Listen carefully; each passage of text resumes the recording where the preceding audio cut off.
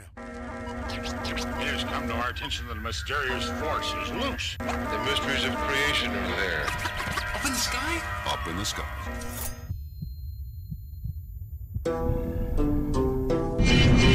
It's not an easy skill to learn. I've been practicing it for many years. So what is going on everybody? It's your favorite ninja, CETS BK1 from Ninja Nation Gaming, and today I'm bringing you a very easy to follow Easter egg guide for the new World War II Zombies map, The Shadowed Throne. In this video, I'm going to be showing you a really easy way and order to get the steps done so that you're all finished with the Easter egg steps by round 10, simple and easy. As well, I have taken the time to make sure I include all the Morse code locations, totaling 6, not 3 like many have assumed. Also, I've included every spawn location for all parts, including all 10 clown locations.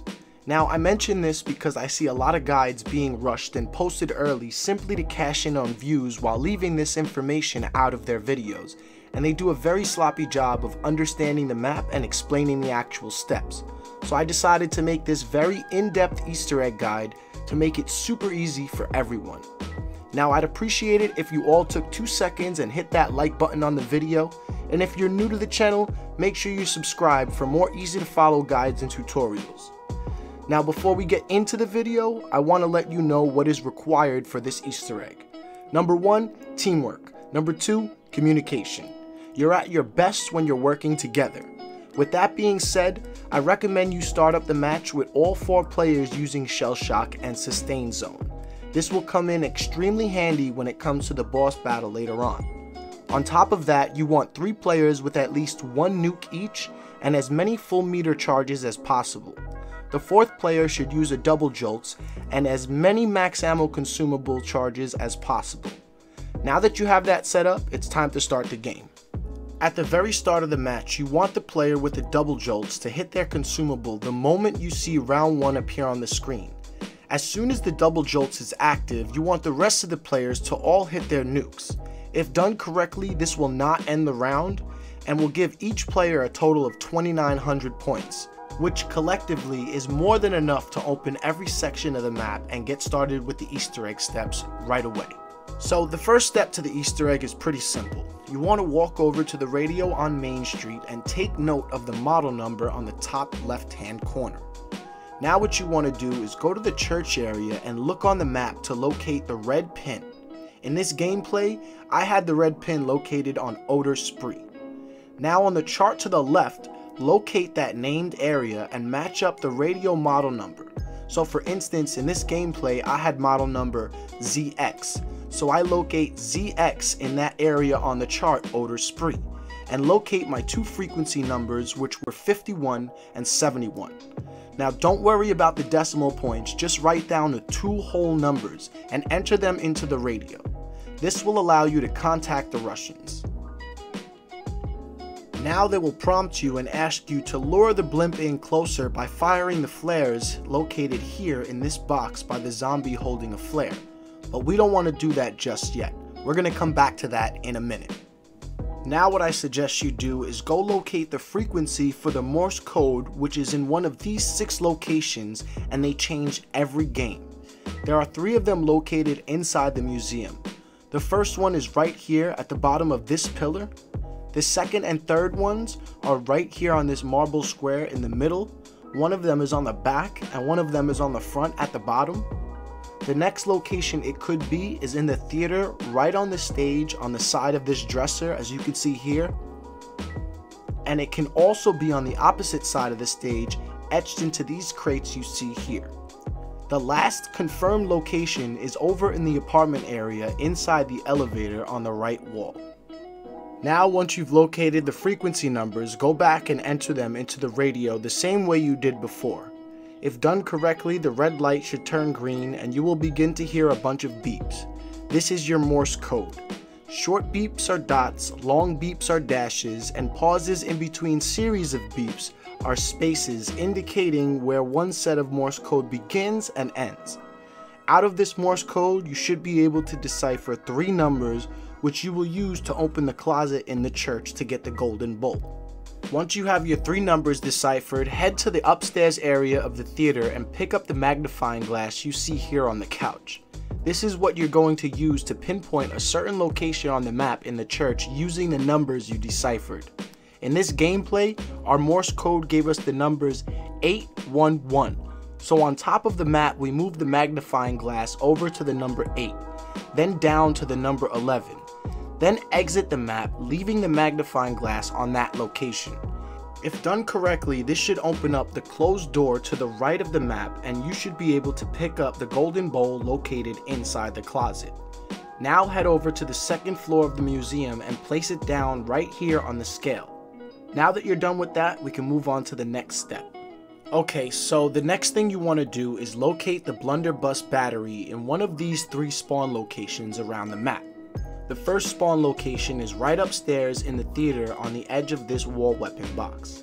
The next location is in the museum on the second floor on top of this other wall weapon box.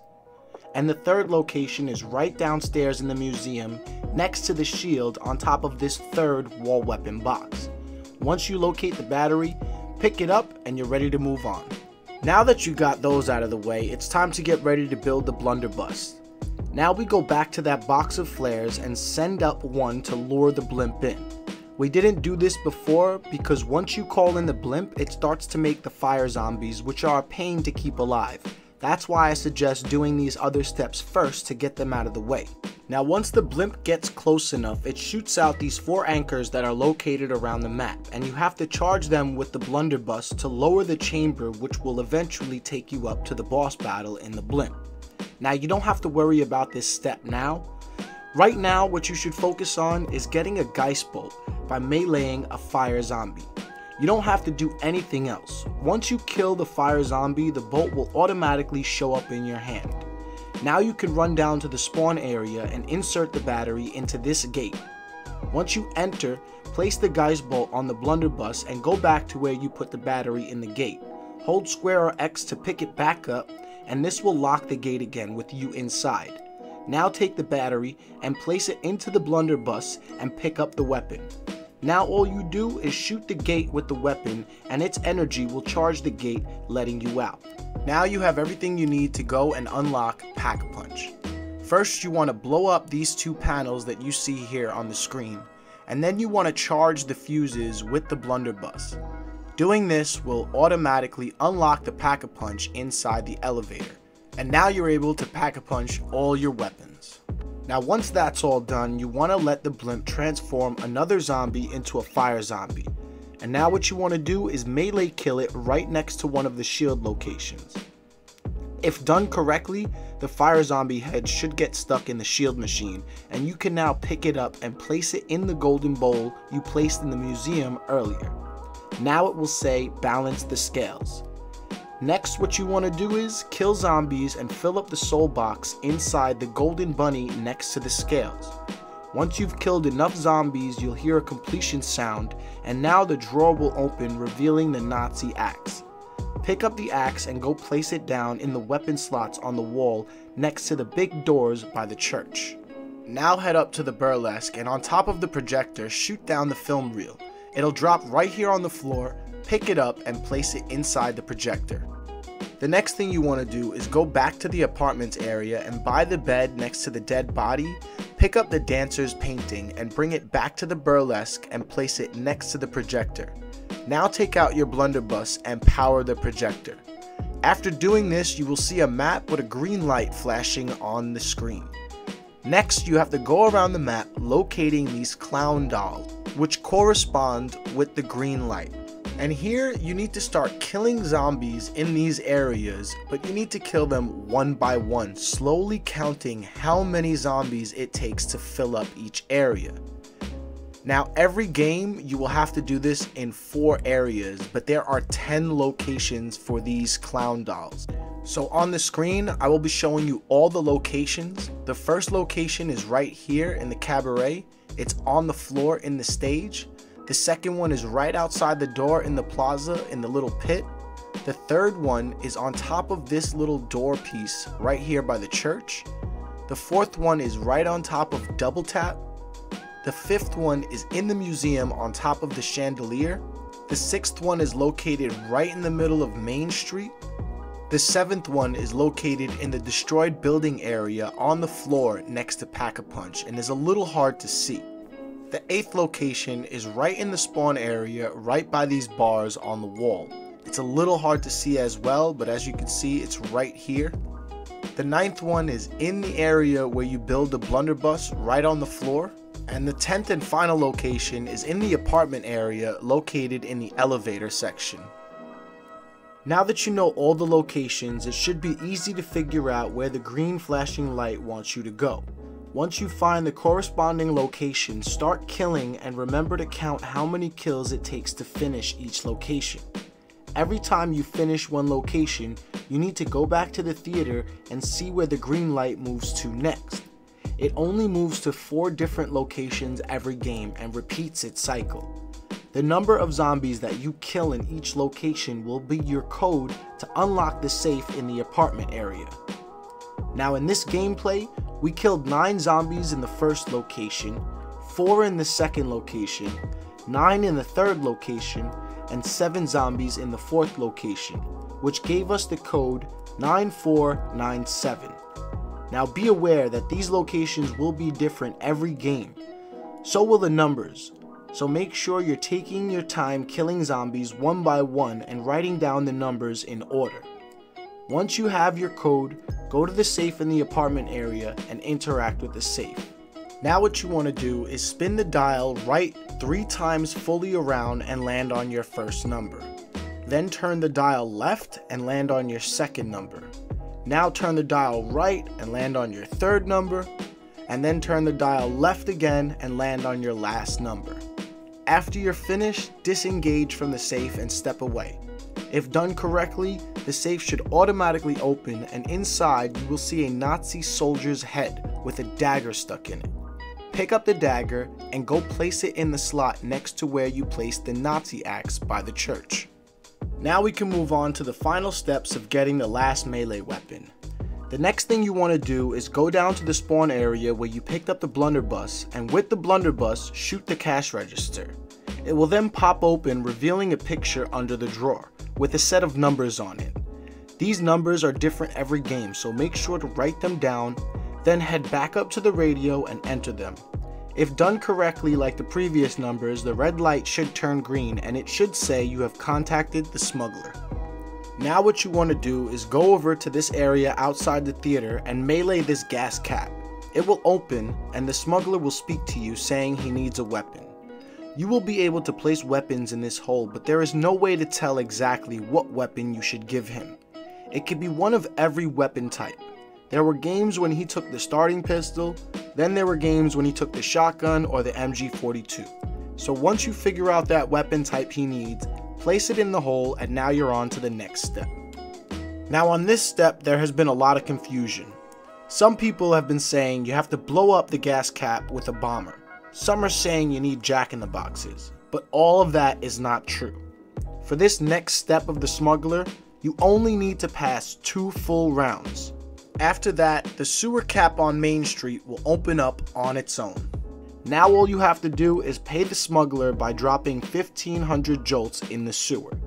You will know if you're doing this right when you see the jolts disappear in the hole. If you're having trouble, try moving to a different position and deposit them. Once you have paid him a total of 1500 jolts, you need to go back down to the room where you got the blunderbuss, and you need to melee the wooden door three times. After hitting it the third time, a Wüstling will break down the door from the inside.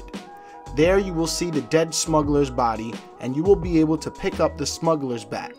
Now take the bat and go place it with the other weapons in the wall next to the church. Now, once you have all three melee weapons inside the wall, it's okay to start killing zombies and fill up the dagger. Once the dagger is done, you need fire zombies to fill up the Nazi axe. So train up some zombies and wait for the blimp to turn them. Once they are fire zombies, bring them over by the axe and kill them until the axe is done charging. Last but not least, you need pest zombie kills to fill up the baseball bat. Once all three are fully charged, the big door will open revealing the secret courtyard. Now, here's where things get a little tricky and your puzzle solving skills will come into play. Before we get into that, remember those anchors I mentioned in the beginning of the video? Now what you want to do is go around using your blunderbuss to charge the anchors until they go from red to green. Once all four anchors are fully charged, the drop pod will be lowered all the way to the floor allowing access to the boss battle. But before all that fun begins, you should save a pest before charging the last anchor located in the courtyard because after you drop the pod, you will now be locked in the courtyard until you complete two puzzles. Now, essentially what they want you to do is make every statue lining the walls face the big golden statue of Barbarossa in the middle of the courtyard. Now when you shoot these statues, some of them turn 90 degrees, some of them turn 180, and some of them even 270 so they can be a little tricky. If that's not bad enough, some statues make other statues move as well. Now, you can do this with trial and error, or you can use the link that I left in the description. Someone in the zombies community was kind enough to create a website to where you can enter the way your statues are originally facing, and it will give you the solution on which ones to shoot, how many times, and in what order. So it really makes this puzzle super easy. Now there are four walls and four sets of statues. Every time you complete one section of the courtyard, it will give you a golden raven and it will pop up right in front of the middle statue. Take the raven and place them in the order you see me do here on screen. This combination is always the same, and you must place these ravens in these specific locations to complete the puzzle and unlock the Blade of Barbarossa. Once you retrieve the blade, head back upstairs and to the left of the door, place the blade in the mold to unlock the courtyard door again. Now that you have the blade, you're all set to enter the drop pod and head to the boss battle. You want to make sure all of your team is ready with perks, shield, and full ammo for your blunderbuss. In order to get to the boss battle, all players must enter the drop pod and charge the red battery on top with your blunderbuss. It takes a full charge from every player in the game to charge the pod and lift you into the blimp. Once inside the blimp, zombies will continue to spawn as usual. I'd suggest saving one zombie and get ready to solve this next easy puzzle. Once you have a zombie saved, go and interact with the panels you see here. Now the key to this puzzle is you're trying to move the big blue ball of energy around using these control panels but each control panel only moves the energy a certain route. Just follow the green wires on the panel until you get the ball of energy into the control room where Dr. Straub is conducting experiments. Once you have successfully navigated the energy into the room, sit back and watch as Dr. Straub's creation tear him limb from limb in their own sick plot twist.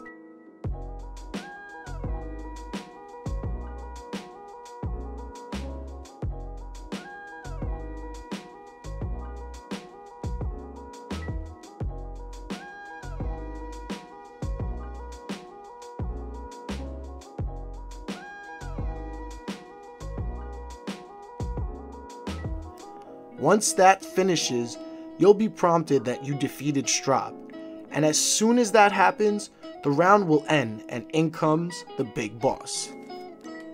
Now this boss has three different stages and is only vulnerable at certain times when his parts are glowing. Here is where your shell shock, sustain zone, and hearts come into play. With good teamwork and communication, figure out who will hit their shell shock first, second, third, and fourth. Doing this will allow you to focus on the boss only and not have to worry about zombies entering the sustain zone. Now, once the fourth person hits their shell shock, hit a full meter consumable to replenish the other three players' shell shocks while simultaneously giving the fourth player a double active meter. Repeating this process a few times will allow you to smoothly make your way through the boss battle. On the third stage of the boss battle, the boss will start electrocuting the floor in certain areas. Just be careful of this and continue focusing on him. During this stage of the boss when he glows, you want everyone to pull out their blunderbuss and hit him with the beam. This will do much more damage than any gun. This is where one player with max ammo will come in handy. If you run out of ammo during this stage, you can either collect energy by shooting zombies with L2, or you can have that player hit a max ammo. If you need more, you can either kill zombies to push the round, or collect more energy. You can also damage the boss with your weapon, so don't worry too much if you run out of ammo. Once the boss releases a circle of pink electricity, you're nearly done. Keep damaging him until he dies, and now all four players must get back into the drop pod and exit the blimp. Once you're back on the ground, you will be prompted that you beat the Steigerhoopflugelglitz, and there you have it. The Shadow Throne Easter egg is now complete, and the cutscene begins. Well, there you have it, ladies and gentlemen. I hope this video helps you all out. I know doing these Easter eggs can be difficult sometimes, and that's why I try to simplify the steps as much as possible to show you that you can get a lot of these steps done without pushing the rounds to where it can get a little hectic. I plan to continue making very detailed, easy to follow guides in the future and continue helping the community in any way I can. With that being said, this Easter egg was a lot of fun to hunt, but this video was a pain in the ass to make. I'd appreciate it if you dropped a like on it and see if we can get 3 likes. If you're new around the channel and this guide helped you out, don't forget to subscribe and turn on post notifications so you never miss out on another awesome zombie guide or video. I'm CETS BK1 from Ninja Nation Gaming, and I'll see you all on the next video. Peace!